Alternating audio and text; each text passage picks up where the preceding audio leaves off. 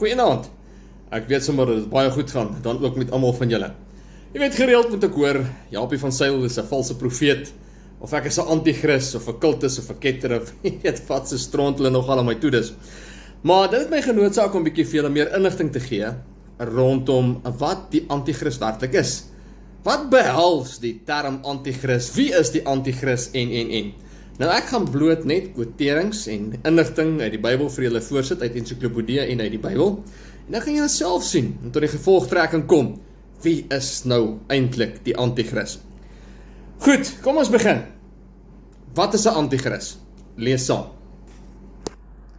Daeers Greek English Lexicon van 1889 kwoteer. Antichristos, one who opposes Christ or one who takes the place of Christ. Hy sit hom in sy plek. Nog een. Merriam-Webster Dictionary van 2022 quoteer: Antichrist, the one that opposes or replaces Christ. Weereens, hy sit hom in sy plek.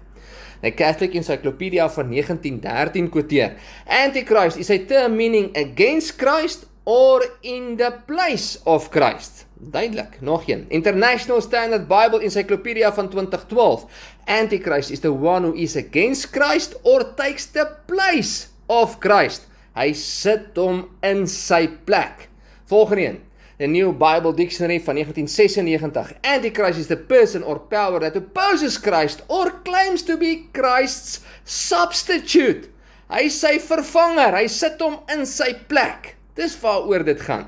The International Standard Bible Encyclopedia van 2012, Antichrist is the one who is against Christ or takes the place of Christ. Dit is wat 'n anti-kris is. So baie duidelik is die anti-kris 'n valse seun wat hom sit in die plek van Messias. Hy staan Yeshua se leer te en hy promoveer homself in die plek van Messias. Iemand anders in die plek van die ware Messias. Nou wil ek vir julle uit die Bybel 'n paar hoofkenmerke uitlig wat die Bybel vir ons sê wat die Messias gaan verskil met die anti-kris. Messias se leer, sy optrede en alles gaan verskil met die van die anti-kris. Die heel eerste kenmerk is wat ons lees in Johannes hoofstuk 20 vers 17 waar Yeshua sê Jawe is sy God terwyl die anti-kris in 2 Tessalonisense hoofstuk 2 vers 4 sê dat hy God in die vlees is. Lees saam. Johannes 20:16 Yeshua sê vir haar: "Maria, Sy draai haar om en sê vir hom: "Rabboni," dit beteken meester. Yeshua sê vir haar: "Raak my nie aan nie, want ek het nog nie opgevaar na my Vader nie, maar gaan na my broers en sê vir hulle: Ek vaar op na my Vader en julle Vader, my God en julle God." sien jy Jawe is ook Yeshua se God? En ons is sy broers. 2 Tessalonisense 2 vers 3 van die Antichrist. Laat niemand julle op enige manier mislei nie, want eers moet die afval kom, die mens van sonde geopenbaar word. Die seun van die verderf, die teenstander wat hom verhef bo al wat God genoem word of voorwerp van aanbidding is, sodat hy in die tempel van God as God sal sit en voorgee dat hy God is. sien jy die verskil? Die een sê Jawe is sy God en die ander een sê hy is God. Die een gee die aanbidding vir Jawe en die ander een vereis dit. So duidelik sien ons Joshua sê Jawe is sy God en hy noem die disippels sy broers terwyl die anti-kris daarin teen hom in die plek sit. Hy skuif daai Messias een kant hy sê mm -mm, hy sal in die tempel van God sit en voorgee dat hy God is. Hy is nou God in die vlees. Die tweede hoofkenmerk wat ons dan lees is dat Yeshua, die ware Messias gesê het dat hy nie gekom het om aanbid of gedien te word nie. Daarteenoor wil die anti-kris aanbid word en hy sal sorg dat die hele wêreld hom aanbid. Daarom sal hy sy sendelinge uitstuur en die hele wêreld kry om gemeenskaplik die knie te buig voor hierdie valse Christus wat homself in die plek van Christus gesit het. So die tweede hoofkenmerk, ek sê weer, is dat Yeshua nie gedien wil word nie en nie aanbid wil word nie, maar die anti-kris wil wel. Lees saam. Markus 10:45 want die seun van die mens het ook nie gekom om gedien te word nie maar om te dien en sy lewe te gee as 'n losprys vir baie. So Messias sê asseblief ek wil nie gedien word nie maar hy sê wie Arameus Lukas 4:8 Yeshua answered and said to him It is written, You shall worship the Lord Yahweh, your God, and him only you shall serve. Hier gee hy die aanbidding aan Yahweh. Maar kyk wat maak die anti-kris. Openbaring 13:8. En al die bewoners van die aarde sal hom aanbid, almal wie se naam aan die van die grondlegging van die wêreld af van die boek van die lewe van die lam wat geslag is, geskrywe is nie. En dan sê hy, as iemand te oor het, laat hom hoor. So Messias sê ek wil nie gedien word nie en sê wie moet naamlik Jahwe ons God, maar die anti-kris sê, "Hoi, ek sit in die plek van God. Ek wil aanbid word." Kyk wat sê Messia oor die sendelinge. Wie julle skrifgeleerdes en fariseërs gefeinstes, want julle trek rond oor see en land om een bekeerling te maak. En as dit geword het, maak julle hom 'n kind van die hel. Twee maal erger as julle self, want hulle maak hulle almal om Jesus te aanbid wat gesê het hy wil nie. Baie duidelik. Die vierde hoofkenmerk van die verskil as dit so kan noem tussen Messia en die Antichrist is dat Messiah Jawe sy Vader se wet geleer het. Hy het dit verkondig. In Matteus 5 vers 18 en 19 gesê en hy het gesê: Elkeen wat die minste van hierdie gebooie breek en die mense so leer, sal die minste genoem word in die koninkryk van die hemele. Maar hy wat dit doen en leer, sal groot genoem word in die koninkryk. Terwyl die anti-kris daarteenoor wat homself nou in die plek van Messias sit sê, nee, hoekom wil jy nou die wet onderhou? Dis Ou Testamenties. Daarom word hy genoemde lawless one. Lees saam met my. Matteus 5:19 Elkeen dus wat een van die minste van hierdie gebooie breek en die mense so leer, sal die minste genoem word in die koninkryk van die hemele. Maar elkeen wat dit doen en leer, hy sal groot genoem word in die koninkryk van die hemele. So Messias leer, as jy groot genoem word, doen en leer die wet. As jy klein of min genoem word, moet dit nie doen nie en breek die wet. Maar kyk wat sê die anti-kris. Hy's gekant daarteenoor. 2 Tessalonisense 2 vers 8, New International Version. And then the lawless one, dis die anti-kris, will be revealed who the Lord Yeshua will overthrow with the breath of his mouth and destroy by the splendor of his coming. So hy is die wettelose, gekant teen die wet van Jahwe. Laat die Bybel die praatwerk doen. Wie kan nou daarteen stryd? Die vyfde kenmerk wat die Messiah en die Antichrist dan ook van mekaar onderskei, is dat Yeshua Jahwe se Sabbat op die sewende dag van die week gevier het en ook Jahwe se feeste onderhou het, waarteenoor die Antichrist mos nou die lawless one is, hy's gekant teen Jahwe se wet en hy vier pagan feeste van ou okkulte wat hy oorgeneem het, soos die fees van Mithras, die fees van Saturnalia, die fees van Ishtar of Easter. Lees saam met my. Johannes 7:2 die opskrif Yeshua leer in die tempel op die hittefees. Vers 10 Maar nadat sy broers opgegaan het toe het hy dis Yeshua ook opgegaan na die fees. Nie openlik nie maar in die geheim.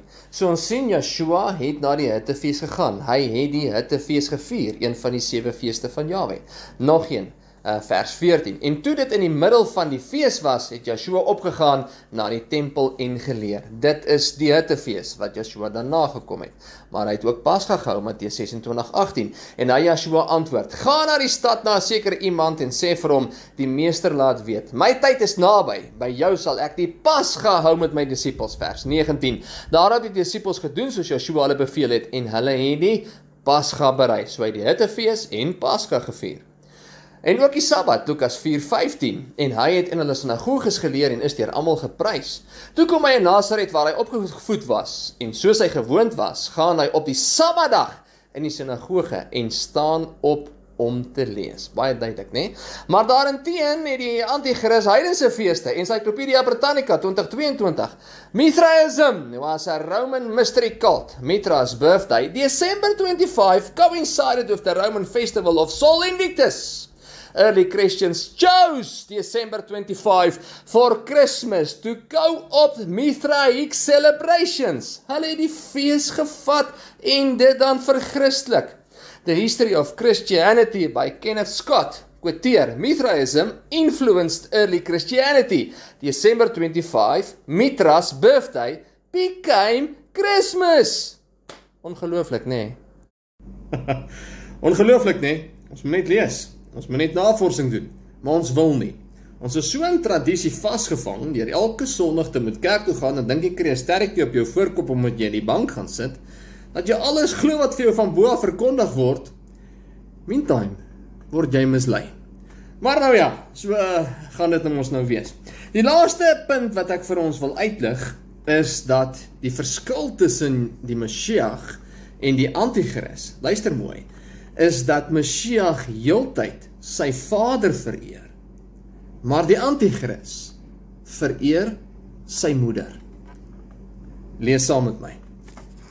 Matteus 5:16 Laat julle lig so skyn voor die mense dat hulle julle goeie werke kan sien en julle Vader wat in die hemele is verheerlik. Die heerlikheid gaan na die Vader toe.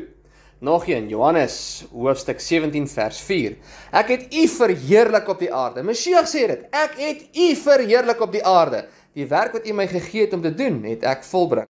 Heel duidelik sê Yeshua in sy eie woorde dat hy die Vader verheerlik het hier op die aarde. Maar kyk nou daarenteen hoe verheerlik die anti-kris sy moeder. Lees saam met my.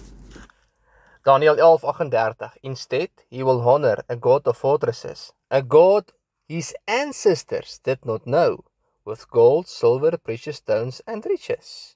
Ongelooflik, the god of fortresses. Wie is dan the god of fortresses? wat hierdie anti-kris dan nou gaan vereer. Kom ons lees. Encyclopedia Britannica 2022 quoteer Semiramis, the legendary queen of Assyria, is said to have built or fortified many cities, including Babylon and Nineveh. Okay, nog een Encyclopedia of Catholic Encyclopedia 1913. Semiramis, queen of Assyria, famous for her beauty and courage, built and fortified many cities. Dit is wat sy gedoen het. Oxford Classical Dictionary 2012. Semiramis mythical queen of Assyria associated with the foundation and fortification of cities. The new encyclopedia of groot woord excavations in the Holy Land 2008. Semiramis, Assyrian queen, credited with building and fortifying cities, including Babylon. Nog een International Standard Bible Encyclopedia van 2012. Semiramis, Queen of Assyria, known for her military campaigns and building activities, including fortifying cities. Hoe duidelik wil jy dit hê, né? Dit is Semiramis.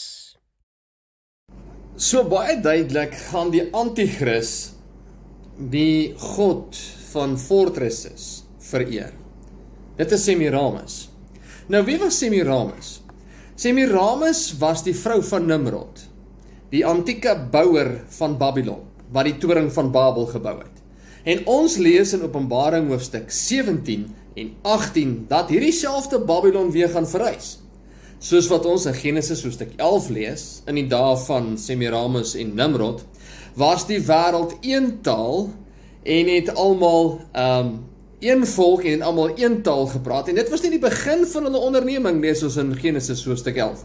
So gaan dit weer wees aan die einde wanneer Babylon verrys.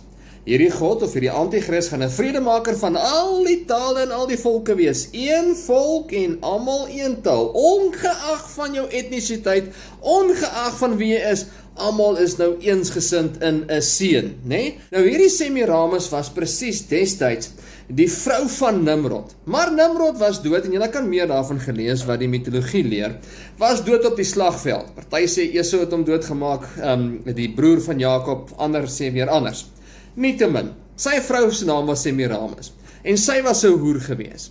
En na die dood van Nimrod is sy swanger bevind met een van haar onderdane. En toe sê sy nee, Nimrod het binne haar gereïnkarneer. En hierdie kind waarmee sy nou swanger is, is die songod. En sy het hom Tammuz genoem. Dis hierdie einste Tammuz wat later dood is toe 'n vlakvark of 'n bosvark hom doodgemaak het en hoe die vroue waarvan ons lees in die boek Esegiel hierdie einste Tammuz dan ook beween het. Lees saam met my. Esegiel 8:13 en hy dis Jawe sê vir my dis Esegiel. Jy sal nog ander groot gruwels sien wat hulle doen. 14. En hy het my toe gebring na die noordelike ingang van die poort by die huis van Jawe en kyk, daar het vroue gesit wat Tammuz beween. Daar sien julle nou dat die vroue destyds in die tyd van die profeet Esegiel vir Tammuz beween het omdat 'n vlakvark hom doodgemaak het. En hy was die seun van Semiramis sy ma the god of fortresses waarvoor sy dan ook vereer is omdat sy dit gebou het. Jy het mos nou in die ensiklopedie en goed gelees. Maar soos ek ook gesê het, is Tammuz dood. 'n vark het hom vrek gemaak, hom doodgemaak. Maar wat julle nie vertel word nie, is wat Tammuz uit die doodheid opgestaan het. Lees saam met my. Dis wat hulle geglo het in elk geval. Catholic Encyclopedia van 1913, Tammuz, the Babylonian deity worshipped as a ghost of fertility and vegetation, legend says he was slain and resurrected annually. So hy was opgewek. Encyclopedia Britannica 2022. Tammuz, a Mesopotamian god associated with fertility, vegetation and resurrection, believed to die and rise annually. Hulle sê ook hy het opgestaan. Baie interessant. Volgende een, Oxford Classical Dictionary. Tammuz, the Mesopotamian god, dying and rising god associated with vegetation and fertility cycles. Mense, ons sit met 'n probleem. Dis wat die ensiklopedie sê. Nog een. The New Encyclopedia, weer daai groot woord excavations in the Holy Land 2008. Tammuz, the Mesopotamian deity was believed to die and resurrect annually, symbolizing seasonal changes.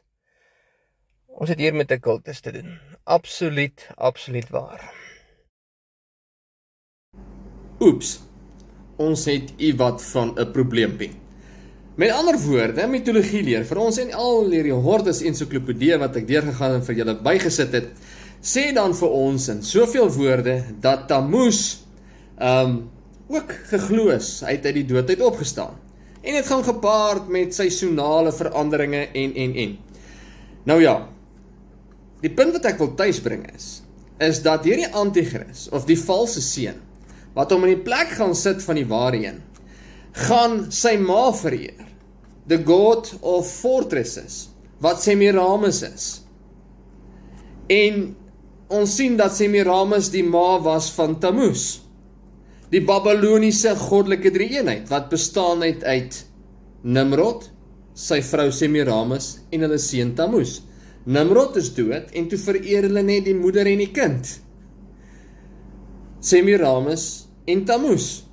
En hierdie Tammuz het verskillende name in verskillende lande, soos wat hulle na hulle taal verwar is in Genesis 11 by die toring van Babel, het Tammuz verskillende ander name dan ook gehad. Party noem dit Mithras, ander noem dit Dionysus, ander noem dit en en en en en Apollos ensovoorts. Die songod want hy is mos nou bevrug met die strale van die son en sy ma sê Miramus geleer na die dood van sy pa Nimrod.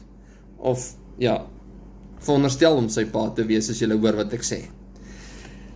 Mense, ons het 'n probleem.